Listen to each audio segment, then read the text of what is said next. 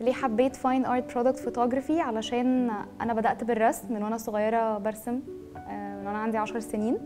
وبعدين آه، بدأت أعمل حاجات handcraft أكتر. والرسم فضل معايا على طول. بدأت عايزة document أكتر الحاجات اللي أنا بعملها فبقى ده ال category بتاعي.